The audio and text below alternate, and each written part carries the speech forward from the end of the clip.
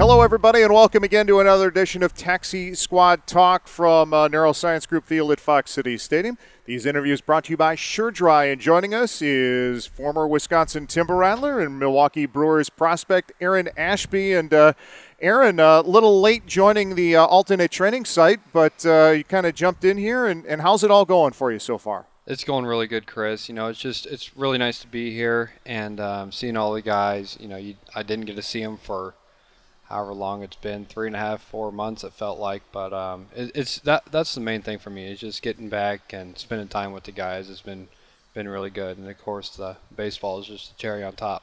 We were talking a little bit before the interview about how uh, your your first appearance in a game situation at the alternate training site was on Friday, and you said it had been 53 weeks since your last, uh, I guess, pitching in game conditions, and that just had to feel weird after growing up playing baseball and, and going almost year round, right? Yeah, I mean, I I got out there and I was telling Jim when I got back in, I was like, I don't even remember what just happened. I I, I think I blacked out up there, but um, I had so much adrenaline going, and um, but it, it was it was good good to be back out there on the mound for sure. I think that's that's one of the main things about this whole setup is is the competition is still there between guys even though you're you friends and you've seen them all in the past when you get out there you just want to do as well as you can. Yeah, no doubt. I mean, the, these guys are you know the top guys in the organization and it's it's nice to have that constant competition and um, you know competitiveness to every at bat that you're facing these guys. Now, you were in spring training when everything got shut down, and uh, it was a little bit of a scramble for you because you and, and your roommate Brice Turang took a little bit of a side trip uh, when things all of a sudden got decided that it was over. Just kind of take us through the the, the hectic time uh, at the end of uh, the spring training for the minor leagues. Yeah, so like I said earlier, um, you know, I think we left there on March 6th or March 7th, whatever day it was, and Brice and I decided to take a little weekend trip to uh, California. He was with his family, and I go see my buddy, whose birthday it was, and then we got the text on Saturday saying, "Hey, come to the field and pick your stuff up," and then you know we drove back Sunday morning and packed all of our stuff up. Brice went to Oklahoma, and I stayed at the house for a little bit longer and you know, waited another week till I went home. But yeah, it was uh, it was definitely a weird time, no doubt. What uh, what were you doing between the calling off of spring training and, and getting the call to come here to back to Appleton? Um, I did a lot of working out, um, you know, baseball obviously, and then I spent a lot of time fishing and golfing at home, and then I went out and worked out with with my buddy out in uh, L.A and um, that's about it. Workout, fish, and golf, I suppose.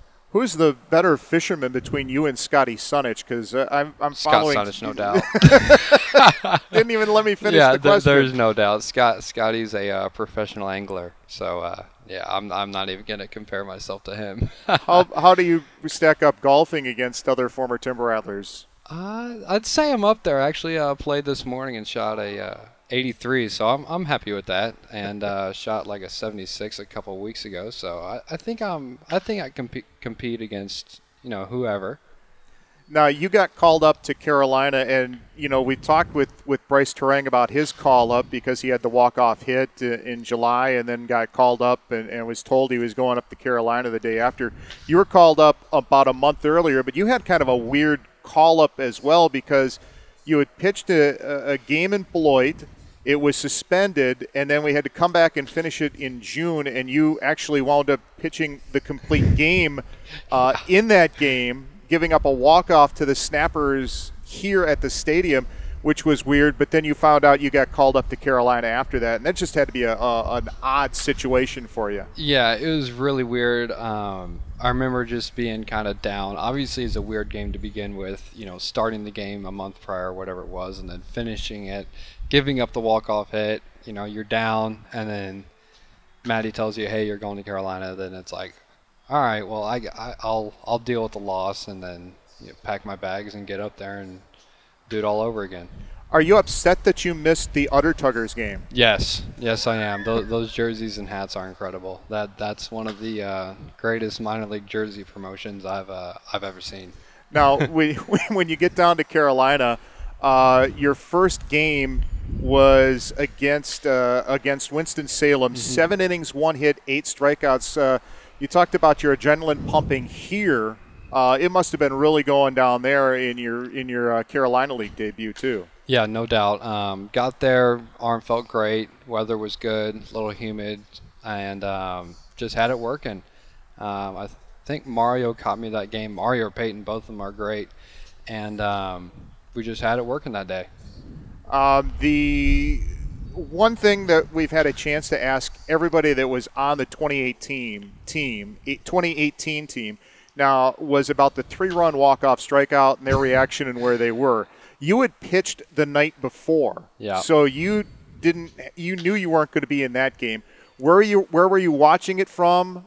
What was your reaction as it was happening, and, and what was your feeling in the clubhouse afterwards? Um, that was that was one of the craziest things I've seen on a baseball field. I was sitting right or standing right here in the dugout behind me, and um, I I remember when the first run scored, I was like, all right, that's that's different. And then the second came around, and then the third came around. I was like, and then you know we charged the field or whatever, and it's just is crazy. That's that's probably top three craziest things I've ever seen on a baseball field. All right. Well, we won't ask you to rank them, but we will ask you about your bobblehead. Uh, the Timber Rattlers Yes. announced you as a bobblehead on August 2nd. Unfortunately, like the Ethan Small bobblehead, it's not here yet, so we can't show it on camera or give it to you during this interview. But uh, what was your reaction, and have you seen any uh, of the uh, artist renderings of them yet? I have not seen any of the artist renderings. Um, hopefully, the bobblehead is as good looking, if not better looking, than myself.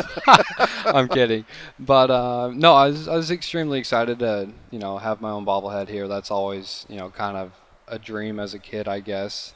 But um, yeah, extremely thankful for everyone who voted um, and got enough votes on there for you guys to make me one. I All right. appreciate it. Yeah, we're we will get you one before you leave, Aaron. And, and Sounds good. I know it. I know you probably weren't expecting to be back here, but uh, we're happy you are back and, and getting a chance to at least make sure this isn't a lost season for you. Yeah, absolutely. It's it's good to be back here, and we appreciate everything that all you guys do here for us, and you know keep keep this thing fun and and you know competitive and everything that it is. So thank you guys. All right, that's Aaron Ashby on Taxi Squad Talk, brought to you by Sure Dry.